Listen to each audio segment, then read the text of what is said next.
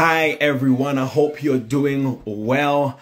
My name is Michael Agyei, and I am the CEO and founder of the Inside Job Academy. And I would like to welcome you all to It's an Inside Job with Michael Agyei. And we have an absolutely incredible special guest um, that is going to blow us away and with her incredible story. I'd like to welcome everyone to this live.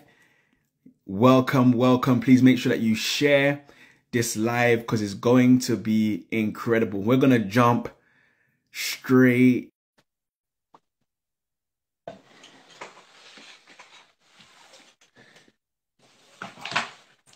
Welcome to every single person who is here. Wow, wow, wow. Ama, how you doing? I'm good. I'm good. How are you? I'm doing well. I'm doing well. Been looking forward to this conversation. Um, so we're gonna get straight into it, um, so that we can get the most out of your story. Now, Ama, you went literally um, from Before I did, let me, let me give a little background. Let me give a little bio to Ama. Now, Ama Amo-Agyei is um, Plantmade founder, entrepreneur, who literally started on a shoestring budget. Um, after being fired from her job during the COVID shutdown, Ama um, Amo-Agyei started her business, believe it or not, with only 150 pounds. She now runs a successful eight figure business, dropping hair and beard growth products globally. Now featured in numerous mainstream publications like Business Insider and Vogue, Ama's story was so compelling. She caught the attention of the BBC which culminated her into her own documentary called Beauty Boss. Her organic approach to launching and scaling her business is sure to inspire you wherever you may be on your entrepreneurial journey to reach deep within and believe in the gifting God has given you to step out, establish yourself, and succeed in business. Now, Emma, you went from being fired from your job during COVID, which is considered to be one of the worst times to lose a job. Literally, everything was uncertain. People didn't really know what to do. You know, the world was in chaos. People didn't know whether they were going and coming. Um, and literally were tightening their belts. But you started a global brand with only 150 pounds in your mom's kitchen. Now, my first question straight off the cuff was what was going through your mind at the time? And what caused you to make that step into your entrepreneurial journey? Can you walk us through the beginning part of your journey? Yeah, um, obviously, thank you for having me on. Um, it's a pleasure. Obviously, Michael's one of my guys, like, so inspirational. So it's amazing. Um, but yeah, so the thing is, when when I was in uni, I was studying to become a psychiatrist. So I was trying to be a full blown doctor. I think you've heard this story before. mm. uh, and uh, yeah, it wasn't really cutting out. I was just looking at the mm. length of time you had to study, and also just dealing in the mental health field every single day. I was like, oh, am I cut out for this? I don't know. Um, mm. My brother gave me a book called Rich Dad Poor Dad by Robert Kiyosaki. I read it like, whoa, like I didn't even know there was an option because I I didn't grow up with exposure to different careers or anything like that. It was just like very limited career paths, and I didn't want to be a full blown doctor. I didn't want to be a nurse. I didn't want to be an engineer or whatnot. So I was like, okay, well, I like helping people and I like the mental health field or the psychology field. So let me see if you know this is for me. Mm. Obviously, it wasn't. So I was like, well, let me see if I can start a business. But I think um, marketing is going to be a big part of that. The funny thing is, I didn't know anything about marketing. I don't know why I even said that, but I guess marketing is so prevalent that it's ingrained in every single one of us. So I was like, oh, I must learn marketing then if I'm going to have a business. Mm. And then like, well, isn't marketing a business itself? So there was people who were helping other people market their businesses and stuff. Let me and I was like, oh well, let me try and you know run an agency. So let me now start reaching out to people and seeing if I can help them with their marketing. So um, I in uni was picking up people, you know, so, you know, entrepreneurs at, at, uni with their clothing brands and stuff. I was helping them out, and I can't lie, I was doing pretty well. Um, graduated uni, made sure I would never step foot in a job. So I was working like run around jobs, trying to market for people, including Michael. Actually, I did work with Michael for a hot second, um, mm. which was fun. Um, but it seemed like there was, was something like it didn't it didn't necessarily skyrocket, and I wasn't actually quite sure why. So then mm. my mom was like, "Well, this thing ain't working out. Why don't you get a job? Got a job." The funny thing is, the first day I I stepped foot into the job, I literally told myself, "It feels like I'm betraying myself." I felt like I was betraying. Mm because I knew what I wanted to do. I wanted to have my own business. I wanted to start something and blow something up, but just things weren't working out. Mm. fast forward to six months, and yeah, them, them like they lot kicked me out. like they just full blown kicked me out. Like it was insane how it all went down.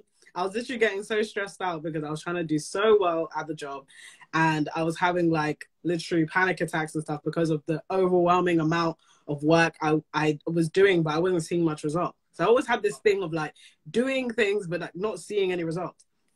Mm. And then basically the day after I was signed off from um, the doctor to take some time off after having a panic attack is the day they kicked me out. like they literally the morning no way. Of, literally 10 minutes in, I got called and that was it. Like I didn't even start the work day. As soon as I was, yeah, they kicked me out straight away. I said, wow, people are wicked. Um, people are very, very wicked. Um, so yeah, then COVID. And I was like, wow, that's this is crazy. But I almost like, I think because there was so much happening, it's almost like I couldn't even be negative. Everything already was negative. So I wanted to find some hope. And I was like, you know what? Let me see. This is a crazy time, but let me see if what I want to do can bang right. Mm.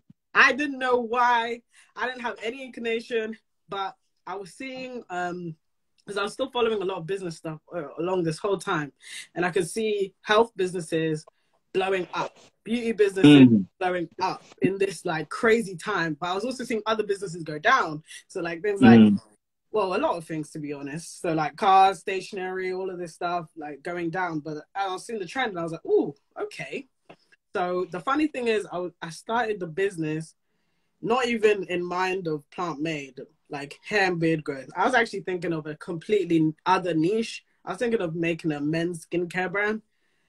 Mm. So I was mm. working on something else, and then I, I ended up trying to solve my own issues because I had really bad alopecia. I had bald spots all over my head, and I was mm. about my own issues. I'm now sharing my story on my my personal Instagram with barely any followers, and literally the reason why I started the business because someone asked me, "Oh, could I buy that random thing you made on Instagram?" That is how the business started. Wow, wow. Wait, before before we before we, we, we, we move on to how the business started. So you're saying to me that, you know, your goal when you first started this journey of life was to be a doctor. Yeah. Now tell me what what was the reason you chose doctor? Was there any particular reason around that? No. there was no love in it. There was no passion in it. It was just like Mm, I'm kind of interested in people. I don't want to be a medical doctor, but I like, you know, people. So I was like, and I was really intuitive um, with psychology and stuff. And as I was learning, I was like, oh, I really like this. And I knew I could become a psychologist if I studied like six to eight years. So I was like, let's just go for that then, because I'm not interested in anything else. Mm, and you, you just quickly changed your mind. Like there was no passion behind it, and I just quick, quickly fizzled out. Mm-hmm. So it was it was from then that you then decided that you wanted it to work from yourself. It was yeah. was it from there? Yeah. So at that point, had you had you had a job before that? Before? So I was literally in uni, so I was working like really crappy jobs, like just to make ends meet. Um, mm. I have a lot of money coming in. I didn't have a lot of student loan because, um, yeah, I was messed around. I got the least um, amount of money, so I was like, what, what, hey, what were some of these crappy jobs? Let's go down memory lane. What's some of these crappy jobs that you got yourself involved oh in? my gosh, my uni jobs were mad. So I worked at a stadium. I was doing like events. I was doing catering and stuff. Then um, I was doing like barista work. I was working in offices. I even was a cleaner Mhm. at one point. I also worked in a hotel. I turned over beds. I cleaned sheets. I was I did anything I could to make money. I Mm, I did a lot of stuff. A lot of stuff that people thought they were above. But I was like, hey, I gotta make money. And even throughout when I was a failing entrepreneur, I was still doing like I was still turning over beds and doing hospitality. Like yeah. Mm. And that was just just to make kind of ends meet, really. You were willing to do what it takes just to keep your head above water. That part, But yeah. all of these jobs, was it just making, was it just reaffirming that you don't want to work for someone? This is just, you know, just this is just for now. I'm just Yeah. like literally, it was just reaffirming the fact that that's not what you want to do. Yeah, so even the craziest part is when I worked in a hotel, um, the the hotel I worked at, it was the hotel that Meghan Markle stayed in the night before her wedding. So it's Wow. like the most one of the most prestigious hotels in Ascot. It's like really high end. Like no two rooms are the same. It's like Wow. it's a stunning hotel, and like I'm I'm also trying to like do a whole thing where I stay there. I pay for a few nights there to kind of like commemorate what I've achieved Mm. Mm. and now I'm sleeping in it, that kind of thing. Um, but so what, what did that, what did that mean to you when when you were actually doing that? What what was you what was kind of going through your head? You know, when you were actually kind of staying in this hotel um, that you were in. Oh, I mean, I haven't done it yet, but um, when I Oh no, I'm saying I'm saying when you were when you were Oh, there. You say you were, yeah. May, um, I was like, wow, people got money.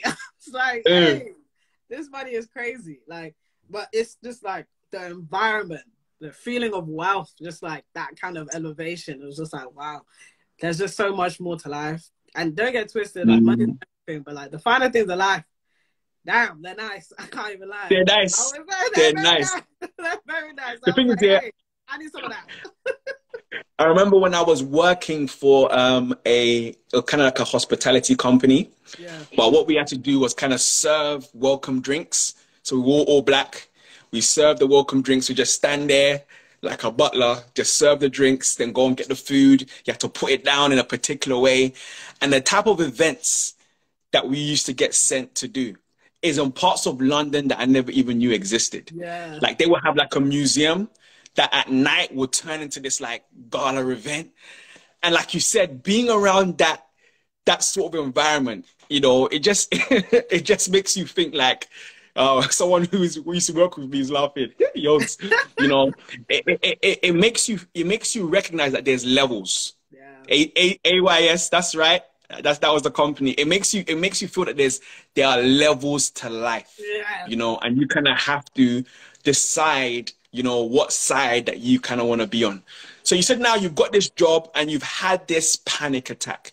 Now talk me through, you know, what led to this to this panic attack. Hundred percent, hundred percent. Um, so basically, the first day I was brought in, um, I so I used to work in recruitment, and um, when it came to the business that I was working at, they had. So uh, let me paint the picture. So they had different markets almost. So like everyone was recruiting for different roles for different things, and then they had um, location based um, divisions of that as well. So people could be doing the same thing, but in a different location. Um, Mm. So basically, I w- they told me firsthand, they were like, by the way, this is the hardest one. They're like, this is the hardest market, but like, you'll be fine. And I was like, what? Like, okay, why am I, why did you guys decide I should get the hardest one? And then with recruitment, so usually there's like two problems. So it's either you don't have enough people and not, not enough good people to recruit, or there's not Mm. jobs. I had both. So not only did I barely have anyone, I also barely had any jobs. So I was like, how was this even gonna work anyway? So they had like protocols and all this stuff, and yeah, it worked for most people because most people had like slightly one edge over the other. Mm. Me and a, the few people that were doing our market, they had to do very unorthodox things. Had to go against protocol, but because I was new, I had to go with the protocol. So it was almost like this Mm. fight of like, I'm doing everything you're asking, but it's not working. So, and I was being very proactive. I was asking like questions. I was trying to tell them like, this ain't working. What else can I do? I was actually really trying, and it was so Yeah. against my personality because I'm I'm a very timid person. But like, I was like, hey, it's work. Let me get the work done. Let me show myself as a good good sport. Yeah. It wasn't working Mm. out. And then I was like, Mm. oh, there was talks of the directors talking about me, and I was like, what's going on here? Like, I'm. And by the way, every time I'd had a, a review, it was never negative. Until the time I was fired, that was the one time I heard anything negative. Wow. so I never heard like it was always just like, yeah, you know, you're trying your best, you're so you know, we'll figure something out, but like you're actually putting in the work, so it's not you. Mm. Something, Yeah. it's not you. But then it became me. So, so yeah, it was that whole thing of like putting in so much effort and work and not seeing any result. That was the Mm. weirdest thing to me because it was such a recurring thing in my life. And yeah, it just got to the point, especially with the whole talk of the the directors and stuff. It was just like, nah, I was just getting really anxious and really panic, Mm. like something I haven't dealt with in my life before. So it was Wow. so mad. And that was the first time you've, you've ever had a panic attack. Yep. Wow. Wow. And then you said was on that day you said you got fired? No, so the thing is, I'd actually addressed it. I, I told um I told my manager and my sales coach um that it happened because I just wanted to be transparent. And I wasn't to say that it was a weak thing, um and they were women as well, so I was hoping they'd understand. And even my manager said that she used to have them too, so I was like, oh, okay, cool. So you know, you can kind of help me through this. I was just trying to be, Yeah. you know, transparent, but I don't think people like me can be transparent in those places. Um, Mm. then I got signed off of work. Um, but the funny thing is, even whilst I was signed off for a week, I came into work in the middle of the work week because I had meetings booked, and I was like, I'm still gonna go to them because I'm gonna show them that I'm like I'm gonna do this, even though I've been signed off by my doctor. Yeah. I came back after being signed off, 40 minutes, and I was out. And you was out the door. I was out. What's going through your mind? I was like, these little, I was like, wow, you lot are fake. I was like, nah, like, I was Mm. so shocked. I just had never seen anything like that before. Um, because the words of encouragement, the fact that I was doing everything I needed to do, the new management I had towards the end of um my career there, all of that just it was almost like they were just still trying to push that it was a knee problem. I felt like Yeah. I was doing what I needed to do. It they didn't train me right or those unorthodox practices needed to be done in order to get Mm. those roles, but Mm. it was almost like you had to pay by the book or you had to get out. Um, yeah, I, I was a little salty until this day, like, cause I, I still work near there and I still have friends there. I'm not, Yeah. like, I'm not. I- I don't know you lot no more. Like, I don't. The people I know, they know, they know I know. They know. But I don't know. Yeah. Yeah. Mm, no, I hear you. You know, and and it can be just literally a- a- an emotional roller coaster because this is you really trying to do everything that you can to kind of make ends meet. Um, and you know, right now your your mental health is being impacted. You know, because again, in back of your mind, you don't even want to work a job in the first place, but you're here trying your best to make it happen you know you you experience a, a breakdown unlike anything before you're being transparent and open even get signed off you come back and you literally you know um are sent out the door you know it's it's it's it's it's, it's insane an insane journey because you know there's a lot of people out there that are kind of going through a similar turmoil. You know, they're they're they're they're frustrated. They're trying their best. Some have even been trying to look for jobs and they can't. Um, and you've just been made redundant. So this is when now you've gone into your marketing business, right? No, no, no, no. I was After this the marketing before it. Uh, or before it Dur- Before and during. and during. Yeah. So now, what's your first thing now? Kind of turn more towards that, or you're now trying to look for another job? Um, so I was recommended by my mum um, to try and get another job during the midst of like everyone being sacked and put on furlough. I was like, I don't think this is gonna work out. I, if I yeah. do anything for myself right now, then it's game over. I, I, it's almost like I, I didn't see another job happening. I didn't see that happening. Mm. Um, so, mm. and I was like, the marketing thing, like, it was cool marketing for other people, but maybe it's just the thing that will really take me off is just doing it for myself. Um, yeah. So I was like, yeah, let me just start my own business. Let me just start my own brand. Wow, I hear you. So you're somewhat unconventional, right? Um, in your movements. Like you stated on your IG account that I wake up at different times every day of the week. Um, I still found huge success in my life because I wanted to set a different kind of foundation. A foundation built on doing the right things every day that actually move my life forward. So I want you to move us through your day and how we can glean from these principles of, of how you flow.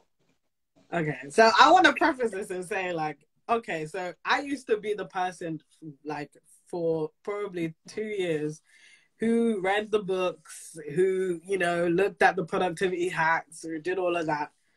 And stuff wasn't happening. I was just like, why? I'm reading the book stuff. Like, I'm doing the hacks. But it's like, until, so there was this co- concept of moving the needle that came to me.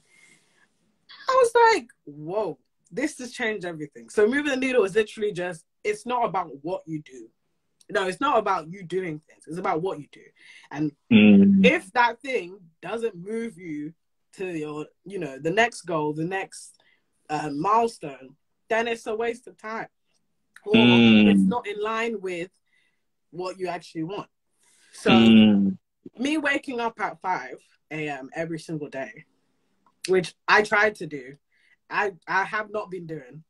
I wake up mm. sometimes at five, sometimes at six, sometimes at seven thirty. Um, I you know, but like imagine if I went to the gym, I'm still going to the gym regardless of the time I'm going. Mm, mm. That's moving me forward. The going to the gym is moving me forward, right? Mm. Um, so people almost like mask certain things as yeah. um, it has to happen. Like I have to wake up at five. I have to get a coffee in in 15 minutes, go for a walk and all this stuff. But those can happen multiple times a day. Like it's not married to this time because not everyone is the same. So not everyone's gonna mm-hmm. have to have the same schedule. Instead, um, why don't you focus on the things that will move your life forward? So if it's a fitness goal, make sure you get in at least five sessions a week, four or five sessions a week. Make sure you get in some walks in the week. If it's a business goal, what is making you money and double down on making yourself money, not oh the branding this or oh that. Like I, mm. my, my is a testament of like I did not start out perfect, and I actually am a perfectionist. I am a perfectionist. Well, I'm an ex perfectionist because yeah, I'm not acting like it anymore. But the first releases, like they went up to par. But I was like, it needs to get out. So let mm. it out. And I'll I'll change it later. I've gone through like three rebrands with my business because every, every stage is like, okay, cool. Now we can finally we have we have the money. It makes sense now to to make this nicer. But in the beginning, it's a vanity thing. Your products can look mm. amazing and nice, but if no one's buying them, mm. not moving the needle, are you? Mm, I love that. In other words, major in the major things. Some of us are focusing on some of the things that are not really like you described, moving the needle. Just because this set of, you know, um, um, um, routine is working for that person, you know, they may have a completely different goal to you. You know, the reason why they're waking up at five is maybe because they're an early bird, you know, maybe because they have to come back and take the kids to school. So you mm-hmm. don't have to do that. And so kind of have a routine that's kind of focused on the goals that that and what moves you really. Is is that in the summary? That's it. That's it right there. So yeah i've been living my life with that and it's it's been helping i think it's been helping a little bit a little bit now you you you you started and this is what kind of blows everyone's mind right 150 pounds to start your venture with time constraints and obvious, you know, resource challenges. Mm-hmm. You know, what did you do first? You know, how did you multiply this 150 to now an eight figure enterprise? Talk to us. Okay, cool. So basically, as I mentioned earlier, so the story was I was working on, you know, making some concoction to solve my issues. So my brother wanted to grow his beard, I wanted to grow my hair back. And it was the middle of COVID and everyone had time. I especially had time because I had no job. So I was mm. like, okay, let me mix a few things together and see what happens. And within like 10 days, I'm tracking this stuff because I, I that's what I do anyway. I used to take pictures and videos of my hair, cut my hair, do whatever. Um, and then I was like 10 days, I was, I was like, what's going on here? what's happened? Like, mm. did I, do I see a lot of growth? I've never seen this before in my life. What have I done? Um, wow. So I was like, okay, so I shared it on my personal Instagram, and at the time I had like a thousand followers, and it was just people I knew. So um, yeah, and then some people were asking me, oh, what ingredients did you buy? What did you buy? And I was like, okay, cool. I sent them the the mega list of ingredients because it was quite a bit. Um, mm. I knew people couldn't be bothered, but I was just wanted to share it anyway. And then one person was like, oh, like if I bought it, like, could you make it for me? And I was like, bought? What? I'm broke. I have no money right now. bought, like, as in buy with your money. Okay, great. That's fine. So I'll do that. I was, I was like, yeah, that's fine. So, mm-hmm. and then people, um, so then I was like, oh, maybe someone else might want it. So I just put on my Instagram, hey, this person said they want to buy it. These are my results. Does anyone else want to buy it? I had a mm. hundred DMs. I've never had a hundred DMs in my life, not even on my birthday, like not even on a special event, like a hundred DMs. Yeah, look, where can I buy it? Where can I? I said, what? Okay, let me make a quick makeshift, quick makeshift um, website on a on a platform called Gumroad, which is basically just like quick, quick website, quick things that you can sell. It's usually used for like ebooks and stuff, but like I was just using it for this because it was cheap and easy. Um, mm. So I did that. I set that up, and then I had a limited amount. So I sold the first batch. I think I sold like 50, 50 of them for like ten pound. So I just so I sold them.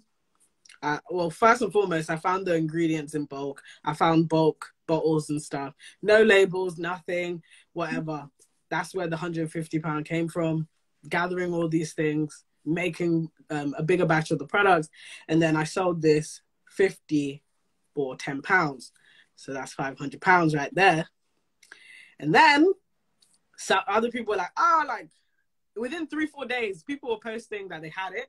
And then within another week people well and within another few days actually people already started to say oh my gosh like i'm already seeing results. Like my edges are already coming back. And i'm like what? In a couple days? So i'm not crazy. I'm not crazy. Something's happening here. And then i was like okay mm-hmm. cool. We're going for another round.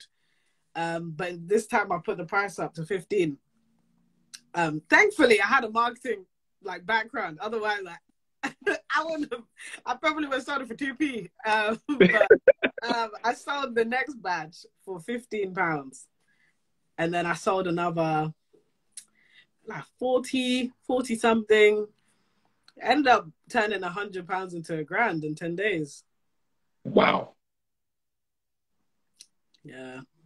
so when when along this journey did you know that you were kind of onto something like this could potentially be crazy. So I was just reading the signs, like it was the way people were so responsive, the way that people were seeing such great success in a few days. It was just those things. Um, and also I was working on something that had no money and just something that me just solving my own issue had made made me a thousand pounds in ten days. Like I was like, I have to give this up. If it's mm-hmm. basically follow the money, follow the money, follow the money. I don't wow. know who said it, but I was like, that was ringing in my head. Like, follow the money. I was like, okay, that's where the the success is. It's already apparent. What's the point forcing something when the market yeah. already the market had already told me what they wanted? So mm. I just went with that. And in five months, you had made your first six figures. Yep. Ama, you you you you had you ever done a job that had made six figures before? Never in my life. No. And you you've gone from, you know, unemployed, you know, having a breakdown, you know, where you've been sacked, and in and in, in five months from then, you've cleared six figures from yep. your business. Yep. Now, so many people when they are starting business, you know, they're like, you know what, I need to get the best website. You know, let me spend three grand on a website. I need to spend another, you know, three K on a branding of my logo. But but like you said, your growth, you know, has just been from 150 pounds. Yeah. You know, to where you are right now. Yeah. You know what I'm saying? So what advice would you give to the person who is saying that I don't have the time? You know, I don't have the resources right now. You know, what what advice would you give to them? Like they can't move forward because of that because of that reason. The thing is, like the what the main thing is is figure out what people want. So there's a lot of people that are doing stuff that people don't want. They're trying to force mm. Mm. trying to force an idea, they're trying to force a business that just doesn't that people don't want. Or and it's like you you're gonna be the one to create the demand, you know?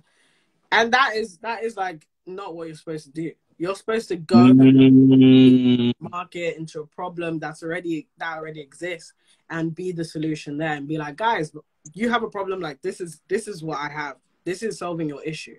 So the first thing is like make sure your whatever you're pushing is something that people need and people want and people have already been putting their money. Mm-hmm. So the funny thing is people always say that competitors are bad. P- people hate competitors. People hate them. Actually, your competitors are validating that wow. there's a market spending. There's already people spending massive amounts of money. Mm-hmm. All you have to mm-hmm. do is look at what your competitors are doing, what they're not doing right, what you could do better, and then position it that way. So for me, I was I looked at the hair market and I said, cool, everyone's making, you know, leave-in conditioners and all this stuff. It's all cute, but like no one's ever said like I'm gonna fix your issue. Like I have an issue and I'm going to like I'm going to fix it for you. Like I wow. didn't see any UK brands doing that. And I was like, why is no one doing this? And obviously I knew that that existed because I was in the market too. I was buying yeah. the biggest brands I didn't see any improvements with them, especially when mm. they changed their formulas and being bought out by like really big guys. I wasn't seeing anything, so I was like, "Well, of course." So it was almost like, "How did I not see this? How did I not see? Mm. How did I not see this?" But that also is in my favor because I am the market to this day. I know what people want. It's literally been one of the main major reasons why I've seen success because I don't even have to guess um, what the market want. It's almost like I'm I'm the voice of the customer, especially wow. with my team and stuff. I'm, I'm mm. always. It's almost like I have this like this energy. I know exactly what they want, what they don't want, what they like, what they won't like. So I always move on the community, what they want. That's mm. that's been the biggest mm. driver of success. So I think majorly focus on solving problems that exist, as, and I would say problems specifically it's so much easier to start a business when there's a problem involved than just a yeah. thing, something that's quick. Mm-hmm. Not, it's not gonna last. Oh, it's gonna be really hard for you to break into the people that are already doing that really well. And then the other thing is, you don't have to go in with everything. You don't have to go in with all the ideas. You don't have to come in with a business coach. I had no business. I still don't have a business coach.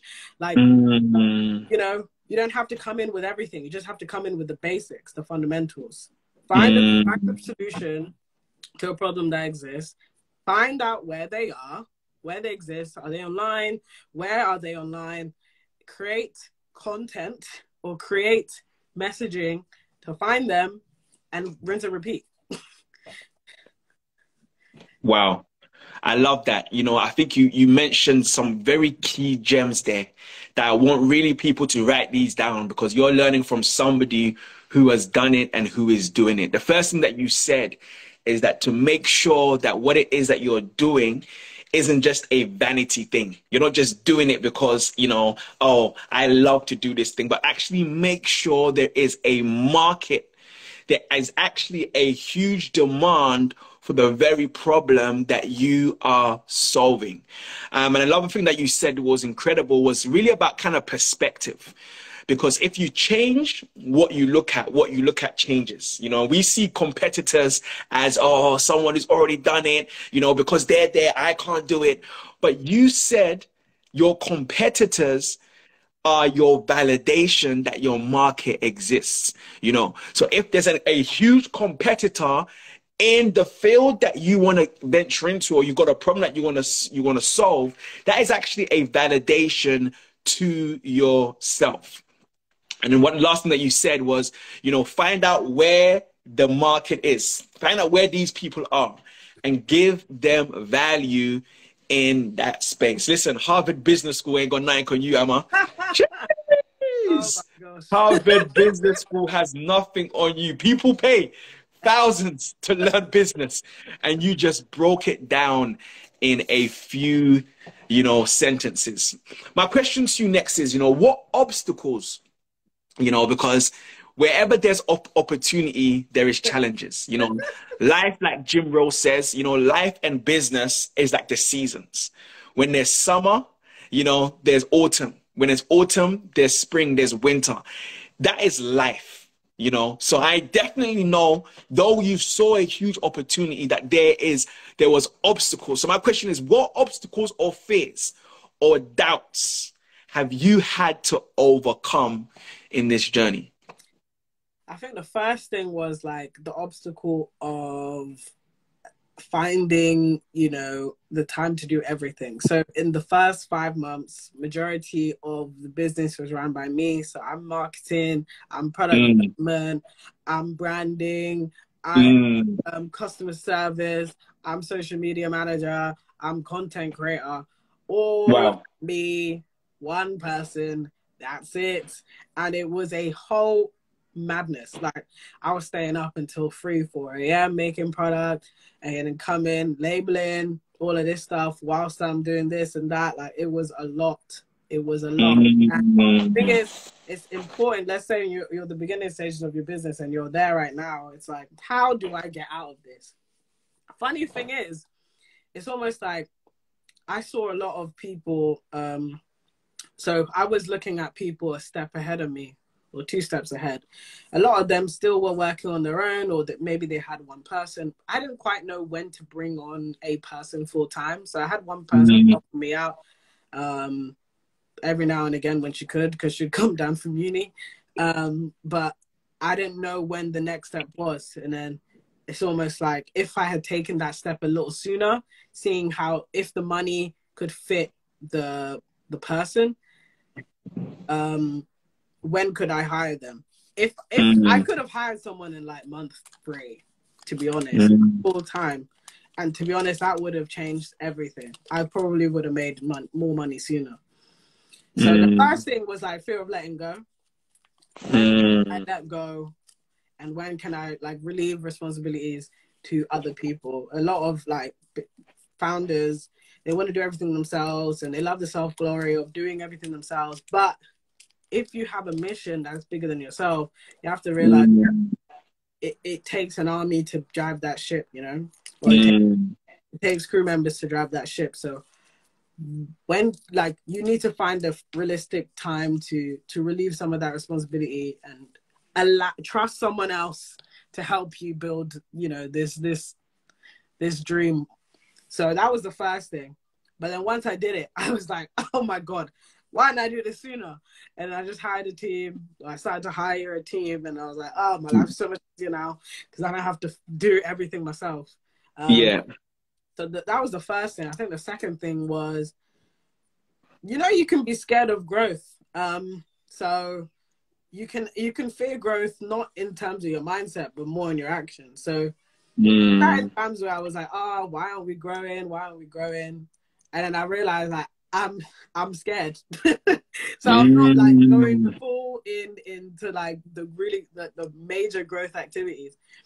And maybe it's because, you know, a few customers have said negative things. Um, mm. okay, well, if these people have said stuff, is anyone else going to be negative to me? is this even going to grow then? If some people don't like it, will anyone else like it? Going into new market, new territory, just everything new. It's like, and growth is new as well. When you see new numbers on the dashboard, that's new, and you're like, mm-hmm. oh, what's the what's the backlash of that?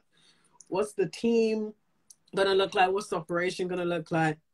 So there was times where I was actually holding myself back, and I didn't realize. Um, wow. I was scared of like, I was internally scared of that step and messing up. So it was almost like it's more comfortable to be where you know. Mm. You, know you know what I mean? But I've had to, and the thing is, I'm, I was still dealing with it up until recently. So I've had to battle myself out of that because now I'm going into some serious territory. Mercy. this ain't a small game anymore. This is serious, serious money being, you know, being made. And it's like, oh, America specifically has been a bit of a fear for me. Not now, no. but in the past because it's new, and it's like, oh, I mm. know what they think, what they how they feel, like hair products. And, and Americans are different. They're different. they're different. oh my god, they're so they're so quick to cut you down. Like, woo! And when it comes to hair, they don't like to spend too much, this and that, but they got a bunch of problems. And I'm like, I have the solution, you know. So mm-hmm. figuring that out. Um, that's been uh, that's literally been, been brutally like transparent. Um, that's one of the things. And then leadership. Oh my god, mm-hmm. team mm-hmm. growth. Let's say when things aren't going well, how do you still inspire your team? Uh, how do you inspire mm. yourself? how do you make sure you're giving energy to everybody so they can do their job, managing people, managing projects? Like, it's a lot, man. And it's not yeah. something you learn. You just have to be at the time. and it's like mm-hmm. stepping into that, that was uh, that was very interesting. It wasn't necessarily a fear, but it was a really big hurdle to overcome um in terms of change. It was a lot. Mm, no, wow, no. I love what you said, you know, kind of being very transparent, especially in, in your the beginning part of your journey. You spoke about kind of fear of growth. You know, that yes, you're doing this business to grow, but internally, you know, that fear was holding you back. Um, and how it was holding you back practically was that you wasn't doing the, you know, the things, the major things that's going to allow you to grow. And that's how powerful fear is right? Because what that will do will just prevent you from you'll be busy doing other things, and it goes back to majoring in the the, the major things. You'll be doing other things, but the the very thing that you're meant to be doing to take you to that next level, you know, um, is what you're not going to do, and it's about that conscious awareness. And once you're consciously aware of what's actually going on, then you can start to adjust yourself and face the fear that you're actually going to be going through. In fact, I'm actually going to be doing a, a masterclass on that kind of very thing, you know, masterclass on f- how you can overcome fear. Because you have to understand that when you have a huge goal, when you're ex- you're excited about that goal because it's what you want, right? This is now Ama is in a place where she doesn't have a boss. You know, she's gone from you know being under employment, being sacked, and going through this, you know, crazy time. So you're excited about this goal. But the reason why you're a bit hesitant is because, like you said, you've never ventured down this road before. There's no one in front of you saying, I'm going to do this and I'm going to doing that. And that very, you know, uh, uncertainty is what makes you fearful. But once you recognize that these very two things are an indication that you're going in the right direction, that's when you can take massive action towards your goals. Um, but there was one time, Ama, where you was at home and you got a letter. you got a letter, you know, and I remember when you're in school, you know, in secondary school, and you get a letter and you see, you know, the logo of your school, you start panicking. What is the teacher wrote home saying? You know, you're, you're shaking, but you got a letter. And this letter ultimately had the potential to change everything. I want you to talk us through what was it Yeah, so um yeah, my mom I was in I was working in my room with uh, my web guy and we are just working. This was proper, you know, bootstrapped at the time, had no warehouse, was working out of a storage unit at the time. Um so yeah, my mom hands me this letter, and I'm like, "What's this?" Like, she was, she thought it was something like you know, a certificate or something. So she was like happy. I opened it and I'm seeing red. I'm seeing destroy. I'm seeing cease and desist. I'm seeing legal action. I'm seeing all these dramatic words, red and underlined, and you know, destroy your web, you know, your domain, revoke. Wow. This. I'm like, what am I reading right now? I was wow. like, I don't understand. I had to read it again. I said, oh, basically, and the funny thing is, this person, yeah, is the town over from me. They're in the next town. They're literally 10 minutes away from me, which is so crazy. Um, but yeah, this person basically as as um the business started to get more successful six months in, I was like, okay, cool. Now it's looking time to trademark, time to make this solid, that kind of thing. So I, I um I registered for a trademark, and the trademark um for my old name, um, for the old name of the business, Planted, was there because there was a dissolved business that had owned it, and with business, if you dissolve your business, you no longer own what you used to own. Um, so I was like, oh, okay, cool, like that's gone. Then I got it right. Um, not realizing there was a whole other thing in the background where they had a five five year period um, where they could like be alerted if anyone's trying to, you know, get that trademark and basically claim it back if they wanted. And this person was still operating. They just some for some weird reason started to operate under themselves, like the person a personal thing. With it was just mm. a hmm. whole weird. It was just weird. Like I don't understand what's going on. But anyway, for me, it looked like okay, cool. The name's free. Let's go with the trademark. Then basically, when I applied for the trademark, it alerted them, and then they were like, mm, "What's this? Heard about you? Um, it's all great, you know, your success and everything, but you didn't ask for the name. You can't, you can't do this. We own the rights to this name, so that's it. Shut down." mm, wow. I was like, "What?" Um, I immediately called up um, my lawyer friends and I was like, hey, because I literally had someone who worked in intellectual property and stuff. Like, what's going on? Can you help? Like, what's this? He thought it was nothing crazy because they were in um, skincare. I was in hair, but I was like, I like planted isn't going to be just skin like hair. I want to make it a wellness brand. Like, I want to do so many things. And it was like, oh, like maybe you have to compromise, whatever. I was talking to lawyers, and they were all like, nah it's not happening. Like you gotta get rid of this name. Like you gotta, it's done. I was wow. like? I was like, oh my days, I couldn't believe it. And this is how many months in? This is one year. One year in. One year in. one year in. So I, I I applied for it six months, and basically it was towards the end of the time where people can like say, sorry, Sorry, I'm back. Um, yeah, it, it was um six months when I applied for it.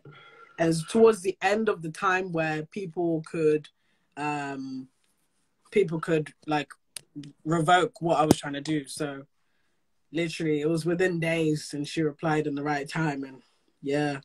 She's basically saying I have to shut down the business, rebrand, that kind of thing. She also wanted compensation and money. I was like, no, okay, so these lawyers need to help me not pay her a dime and at least, oh, sorry. What's going on? Sorry. Yeah, lot. I don't want to pay her a dime, so we need to figure this out. Essentially, so basically, yeah, um, I had to shut the business down. I basically told all my customers, "Hey guys, I'm so sorry. I can't do wow.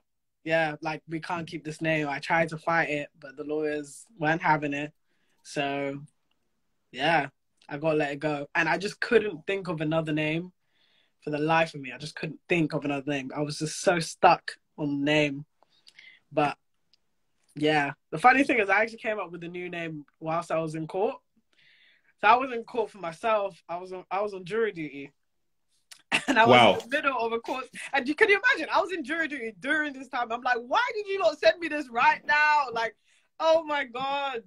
it was such a bad time. I was like, I need to sort this business out. And you guys are, and we just moved into our warehouse as well. So there's so many things happening. Signed a two and a half year lease, money down for a warehouse, and um, my name's changing. Like the business, wow, erupting before my eyes. It was insane.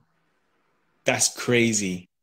Talk talk about you know a major setback. You know, um, you know so throughout throughout the, the the, the the journey was there any time where you wanted to walk away from it all and say you know what you know i've done what i needed to do you know I, have proven that i can do it i'm just gonna walk away was there any any time when you ever thought like that uh, i basically nah it, it just wasn't gonna happen. I knew the impact that the business had, and I was like, "This, there's no way."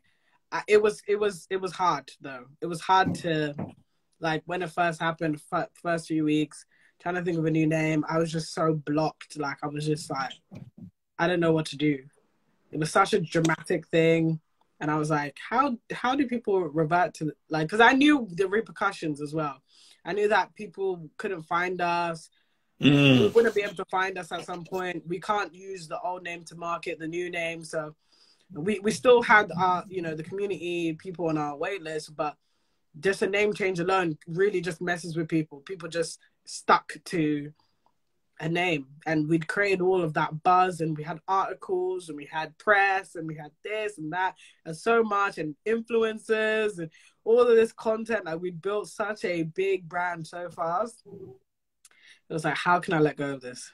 That was the that. So it wasn't about giving up. It was more like, how do I move forward? Mm. Mm. That sort of resilience. You know, like you have gone through so much to get to this point. You didn't look at this as how am I going to let go, but how am I going to get through this? And I think yeah. that's a word to a lot of people. You know, I don't know what a lot of people are going through right now, but don't look at it like, you know, am I going to give up? But ask yourself, what type of person is it going to take for me to become, for me to get through this winter? Because business and life is like seasons. After winter comes the spring. The spring will come. So you just have to endure. And my oh my, did you endure? My oh my, did you bust through? And it's been just incredible because, like you said, five months in, six figures, a year in, seven figures in a business. Absolutely incredible. Now, a question I want to ask you is what does your support system look like right now? Um, and how did you go by assembling it? So, your support system, what does that look like right now? So, I've got other founders I look to. Um, look the thing is looking at founders alone is fine for me. Like it gives me energy. Um i call them my silent mentors. They don't know who i am. They never heard of me in my life. But what they say like there's just people in the bit in the industry talking about what's happening and giving validation to certain things. So if there's any issues that's going on it's like it's not just you it's other people. You just need to figure it out for yourself like other people are. So there's those things that really help um just the industry side of things personally, friends. So I have business friends as well, going through similar things. So we can have chats on that, and it can, yeah, it's just like probably the most. If anyone's gonna get it, it's them. If anyone's gonna get it, it's them. They're the ones who are in the trenches as well, so they're gonna understand. Mm. Um, and then for my family, my family are extremely supportive they they're like this ain't going either. So even if I was to say I quit, they'd be like absolutely not. Um, you have my friend, get into the, the lab, get back to the factory, get back and make this work because yeah, I I need something to brag about. Okay, I'm part of this as much as you are, so let's get it. Um, so yeah, the fact that I have people, uh, my family, they love what I'm doing um, my friends, they're so supportive, my business friends, they're in the trenches with me, and then my silent mentors giving me the tea and giving me the the knowledge from top. It's just like, yeah, that's that's all that keeps me going. Because to be honest, like it's like, what more do you need? And then obviously the peace is from God.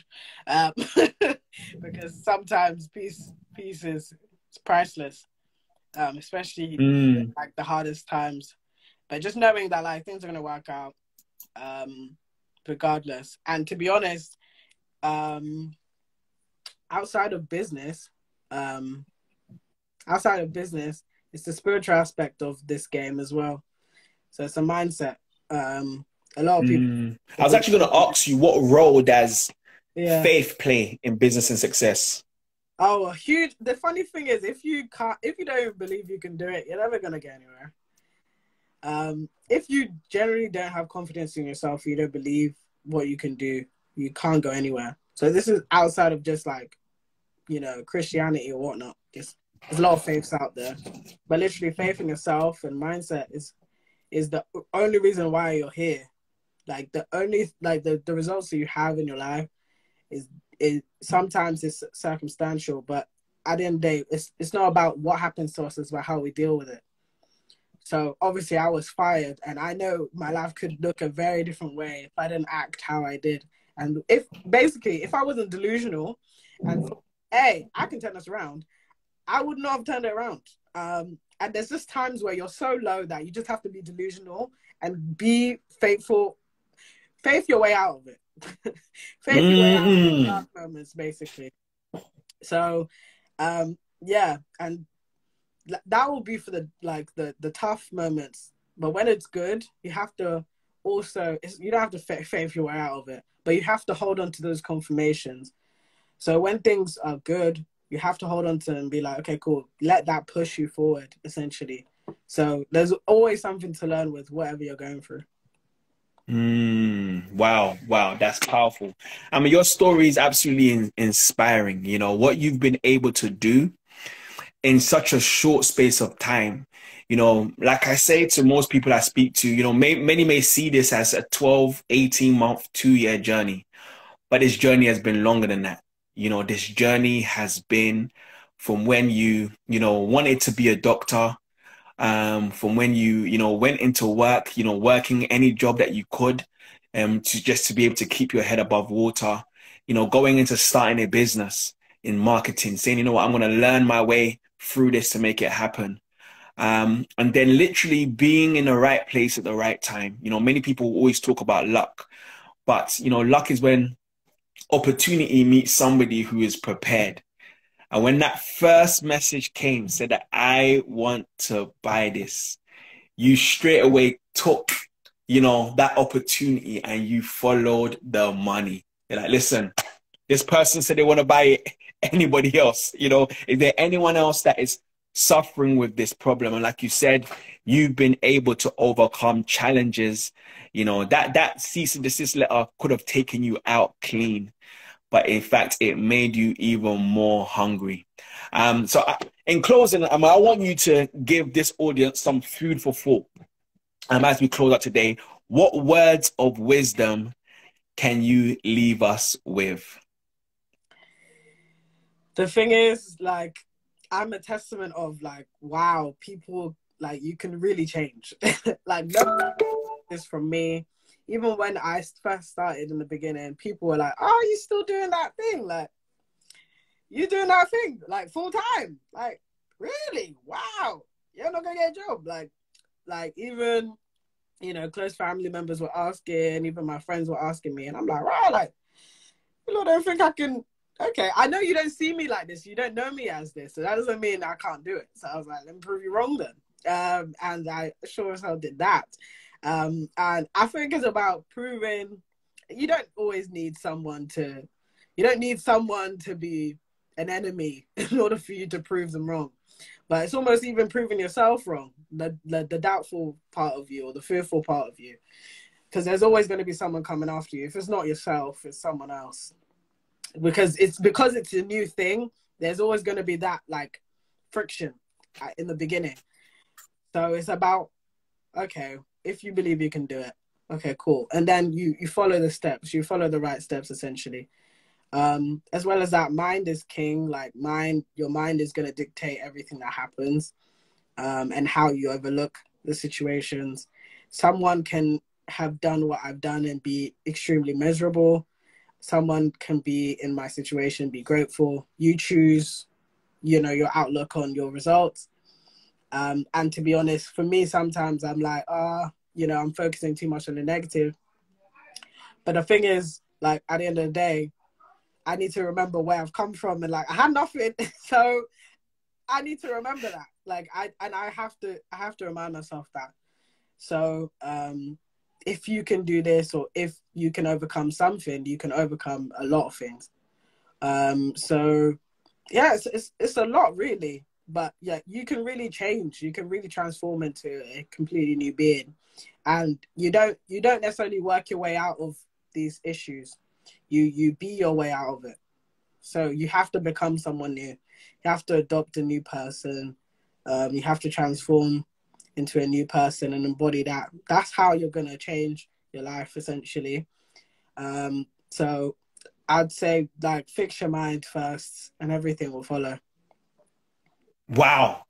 Hey, Ama, you don't work your way out of it. You be your way out of it. You become that person. You know, what she's saying, ladies and gentlemen, is that, you know, there'll be many people, you know, that you will need to prove wrong. But most importantly, you will need to prove yourself wrong. Because the person that you are today has got you the results that you have right now. In order for you to get the results that you want, you're going to have to say goodbye to this very person and be willing to do what it takes to go to the next level. Be your way up. I'm, I'm super proud of you. I'm super excited every time I see something around what you're doing. It just makes me super excited because you are actually living proof that it is possible if only you believe, if only you can faith your way out. You know, just recently, massive congratulations on your pop up shop. You know, here in the UK, it was an absolute success. You knocked it right out of the park. Um, so before I let you go, what can we expect from the Empire? um, well, um, a lot to be honest. So we're, you know, changing things up. We've got new products coming out. We're going into new verticals. Hair, it's been great but there's other things other things I need to fix for myself. You know how it goes. If I fixed them for me, and there's someone else who wants it. So yeah, I'm excited. And yeah, essentially I want Plantmade to be a wellness empire. You go in, you see all your issues, all your worries, this can be solved in Plantmade. We want to be the answer essentially. So I can't wait to start building that out. And yeah, just creating insane products, cool branding, and also yeah, just do things differently. You know, I, I there's no rules. The rule is there's no rules. So always find you'll find something random coming from me or a, a different approach. But yeah, I'm super excited for the future. Excellent, guys, ladies and gentlemen. This this has been an inside job with myself, Michael Agyei and the CEO and owner of an eight figure wellness empire plant made. We've heard her story, her story of resilience, her story of being an overcomer, a story of not having a feeling of letting things go, but asking herself, what does she have to do and become to get through it? And today, what we see is evidence of that. So much so that the BBC themselves done a documentary just to follow her story. And this is only the beginning. Guys, we've spoken about so many things during this life, you know, how fear is able to hold us back from achieving what it is that you want to achieve. That is why on the 5th of September, I'm going to be doing a masterclass helping people to be able to overcome their fear. How do you be fearless in an environment that screams out fear. For those who want to join that masterclass, click the link in my bio. Make sure that you register, and it's going to be an absolutely incredible masterclass to help you go to the next level. Ama, thank you so much for coming on this live, and we look forward to continue to see, um, you know, the things that you're going to bring out and the person you're going to become to take you to another level. Guys, thank you so much. Take care and God bless. Thanks so much.